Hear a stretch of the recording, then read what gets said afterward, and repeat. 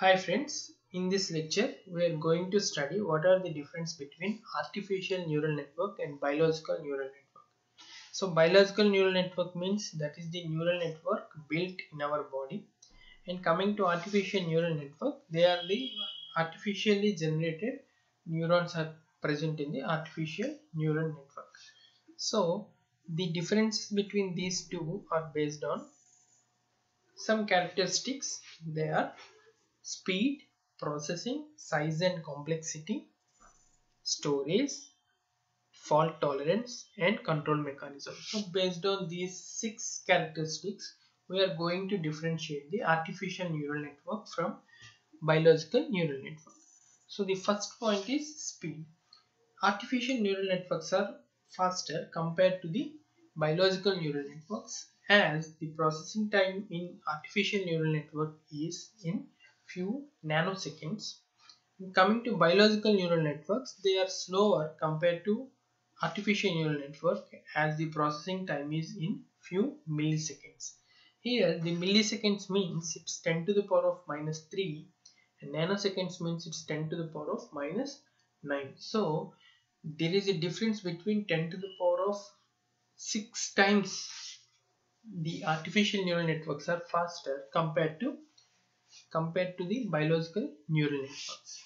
And coming to the second characteristics, processing, many programs in artificial neural networks are large instruction set. And here the in each and every program the instruction set has to be executed instruction by instruction. That means it is a sequential mode of operation. So definitely for processing it is sequential mode of operation. Coming to biological biological neural networks, they can perform the processing in a parallel manner and massively parallel operation can be done. That means there are so many parallel connections, so the operation will be will be processed like anything. And coming to size and complexity, they don't involve as much computation neurons. So this is artificially built neural network. So there are particular number of neurons only. So obviously they are obviously very very very less compared to biological neural networks. As they have very less computational neurons so definitely they can't perform the complex complex tasks like pattern recognition maybe visual recognition. All these things cannot be done by the artificial neural networks. Of course, it can be done, but it is very difficult compared to biological neural networks. And let us see why the biological neural networks are very good based on size and complexity. The brain has 10 to the power of 11 neurons and there are with 10 to the power of 15 interconnections. So because of this huge set and the size is very big, that's why with this size and complexity, the biological neural networks can perform complex tasks also. One of the tasks is pattern recognition. It recognizes the pattern even though it it has seen some some days back or some years back maybe in in a fade environment also it can identify that's the beauty of biological neural network so the next point is Next characteristics is storage. So in a computer, the information is stored in the memory with some location. And if you like to add some more information in the same location, I need to delete the older one. That's then only I can I can put my new newer information. So this definitely takes it is a strictly a, a replaceable thing. So to incorporate the new information you need to delete the old information then only it will be done. Similarly but that is not the case with biological neural network. The information is stored in the interconnections of the brain.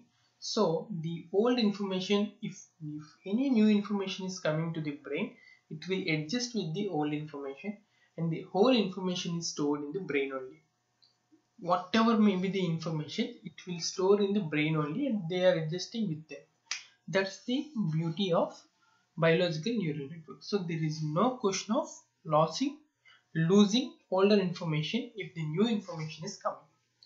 Coming to fault tolerance, artificial neurons are not at all fault tolerant since the information corrupted means it's corrupted only it cannot be retrieved but in a biological neural network they exhibit fault tolerance.